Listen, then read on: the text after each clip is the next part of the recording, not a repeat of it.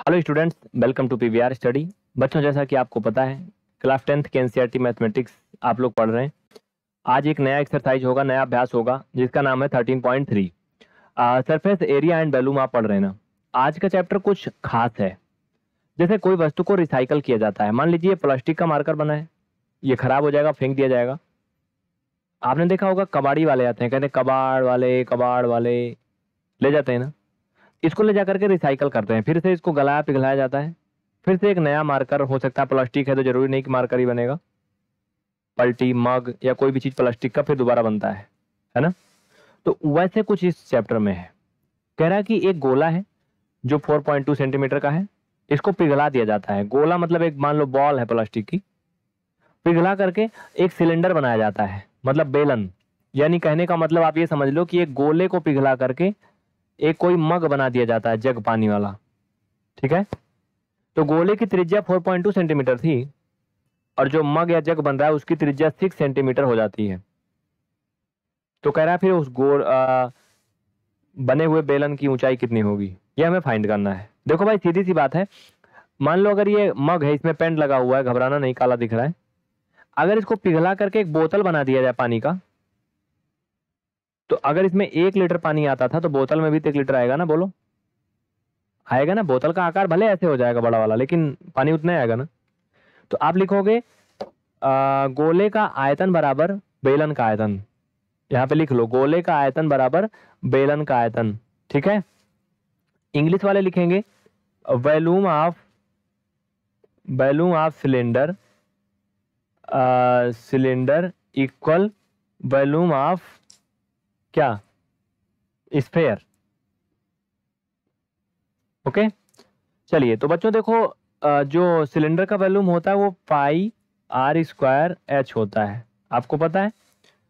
और जो स्फेयर होता है, ये क्या होता है? Four upon three pi r का क्यूब सबको अच्छे से पता है?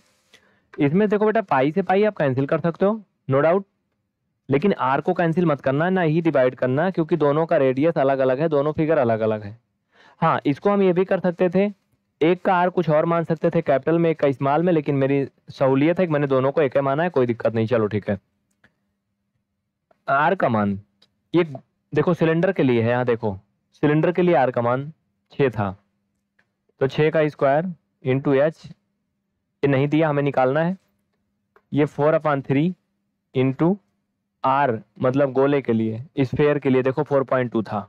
तो ये फोर पॉइंट टू इसका क्यूब इतने में किसी को कोई डाउट नहीं ना? अभी एक लाइन में नीचे और भी लिख सकता हूँ। क्यों भाई? सही बोल रहा हूँ ना? थोड़ा सा फंस रहा है क्या? चलिए ठीक है, कोई बात नहीं एडजस्ट करते हैं हम लोग एक लाइन और। तो ये हो जाएगा बच्चों आपका छ गुड़ा छ इंटू एच बराबर। देखो ये four upon three into four upon two जैसे सॉरी फोर पॉइंट टू का स्क्वायर है ना भैया क्यूब है ना? तो बाबू, इसको तुम लिख सकते हो four point two into four point two into four point two बोलो, तीन बार लिख सकते हो ना? पक्का? कोई डाउट नहीं किसी को? नो थोड़ा बहुत ये अगर फंसेगा वीडियो तो बता देना टेंशन मत लेना। बस कुछ ही सेकंड अगर ऐसा कुछ होगा तो होगा, बाकी ज़्यादा नहीं। बात पक्की? इसके बाद क्या करोगे पता है? इसके बाद अब ये दशमलव हटाओगे, इसको ऊपर ले जाओगे। आओ, ले आओ। यहाँ पे आ जाओ साइड में आ जाओ, चलो। ये इतना जगह अलग हो गया ओके डन चल भाई, ये six into six into h equal four upon three देखो जो फोर पॉइंट टू है ना बेटा, यहाँ पे अगर हम दशमलव हटाएँगे तो नीचे वन ज़ीरो बढ़ सकता है। तो फोर पॉइंट टू को मैं फोर्टी टू अपान टेन लिख सकता हूँ, अपनी सुविधा अनुसार, मैं इसे ऐसा कर सकता हूँ। है ना? नो डाउट यहाँ से हमें एच का मान फाइंड करना है ओके देखो, इसको थ्री से डिवाइड करेंगे तो फोर्टीन थ्री जा फोर्टीन थ्री जा कितना होता है? फोर्टी टू होता है। सही है? नो डाउट आगे देखो। हाँ इसको हम टू से डिवाइड करेंगे तो ये ट्वेंटी वन और ये फाइव ओके अब कुछ मत करो। इसको six into six into h equal ये फोर इंटू देखो इसको अभी और डिवाइड कर सकते हो दो से तो दो सत चौदह और दो पंचे दस। ये पाँच पाँच और ये आ, एक मिनट रहने दो अभी। अभी इसको रहने तो नहीं तो गुड़ा करने में थोड़ा कठिनाई होगी। मत करो। ऐसे रहने दो ठीक है। यहाँ पे थोड़ा आसानी हो जाएगी क्योंकि ये हंड्रेड बन जाएगा और ये आपका एक पाँच बन जाएगा। क्यों? सही जा रहा है ना? ऊपर जो भी बचा है सब लिख लो। एक चीज़ यहाँ पे ध्यान देना है, कोई भी नंबर छूटने ना पाए। अगर कुछ भी छूट गया तो उसे हम ध्यान देंगे आगे पीछे। भागना नहीं, टेंशन मत लेना, ठीक है? बता देना कमेंट में, ठीक है? कोशिश करनी है, चलो। तो फोर इंटू देखो बाबू, ये फोर्टीन बचा था। इसके बगल में ट्वेंटी वन बचा था। ये फोर्टी टू बचा था। नीचे आ जाओ। ये टेन टेन हो जाएगा आपका हंड्रेड इंटू ये फाइव यहाँ से हमें एच का मान निकालना है ना। आपको पता है ये गुड़ा में है, उधर जाएगा, भाग में हो जाएगा। अच्छे से पता है ना तो एक चीज़ समझ लो, छोटा सा समझ लो, फिर क्लियर हो जाएगा। देखो बेटा, अगर कहीं आपका ए गुड़ा बी है और इधर साइड में आपका सी बटा डी है, इसे समझना तो क्या होगा? अगर यहाँ से हमें ए का मान निकालना है तो इधर जो सी अपान डी है, उसे तो वैसे लिखा रहने देंगे, ये बी इधर आएगा, बटे में हो जाएगा, ये लाइन थोड़ा बड़ी खींचना। बात समझ रहे हो मेरी कि नहीं? क्वेश्चन को हटा दो फट से स्क्रीन से जिससे बातें पक्का हो जाए एकदम क्लियर होने लगे। आ, ये मैंने हटा दिया है ओके? अब समझो। तो इसलिए पांडी हो गया ना। अब इसे जब हल करेंगे भाई साहब तो इसके नीचे एक छिपा लेते हैं बाबू ठीक है? वन इसके नीचे कर लेते हैं। अब ये बाहर बाहर का मल्टीपल अंदर अंदर का मल्टीपल करते हैं तो सी गुड़े वन अपान ये आपका बी गुड़ा डी ये हो जाता है। बात समझ गए ना यहाँ से? सूत्र समझ गए तुम कि नहीं? यानी कुल मिलाकर के जो बी उधर गया है, वो डी में चला जाएगा। मतलब जो सी अपान डी था दूसरे वाले में गुड़ा हो जाएगा। समझे ना? तो ये तो आप क्लियर कर लिए होगे। अगर ये समझ लियो बेटा तो इसी आधार पे हम अब लगे हाथ बगल वाला भी कर लेते हैं। हम्म? समझने की कोशिश करो, आएगा, पक्का आएगा, चलो। अब क्या करेंगे, यहाँ पर एच इक्वल ये आपका four into fourteen into twenty one into forty two upon ये hundred five into six into six. जैसे अभी मैंने कॉन्सेप्ट बताया उसी बेस पे ही ऐसा हो गया। पक्का? अब क्या होगा? काट पीट दो मज़ा तो धूम। चलो तीन से काटो। तीन दूना छः तीन सत्ते इक्कीस। जो भी कटे काट दो फटाफट। आ, ये भी काट दो दो से पचास आ गया। दो से काट दो सात आ गया। ये दो अभी कटेगा एक कम दो दो दूना चार।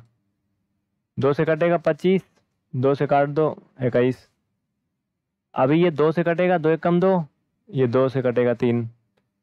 फाइनल में भैया आपका ये सेवन से बन जा, फोर्टी नाइन और टू। फोर्टी नाइन और टू, वन, ट्वेंटी वन। नीचे ट्वेंटी फाइव इंटू थ्री यानी सेवेंटी फाइव। इनका अगर आप गुड़ा करोगे तो मुझे लगता है two point seven five something आएगा हल करने पे। देखो यहाँ पे दशमलव दशमलव नहीं लगा है, ओके? करके देखो। चलो इनको जल्दी से कर लो, अब देर नहीं है बहुत, इतना तो आप लोग जानते हो कैलकुलेशन देखो यहाँ पे एक फाइव भी छूट रहा था बीच में, इसको मैंने लिख लिया। इसको गुड़ा करोगे बेटा, एक हज़ार उनतीस आएगा।